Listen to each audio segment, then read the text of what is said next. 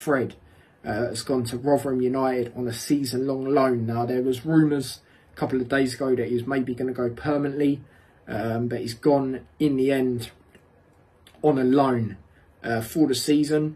And you could say, in a way, it's a swap um, for Chio, who obviously we've signed from Rotherham.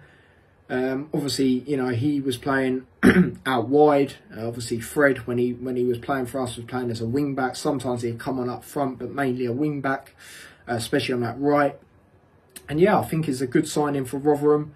I think he'll do well there, and I feel it's needed because also now with Giles coming in, it was always going to be difficult for Fred to, to play for me um, because, you know, as wing backs, we've already got loads of players that can play there. See, with Giles now, Giles, Clark, uh, Bell,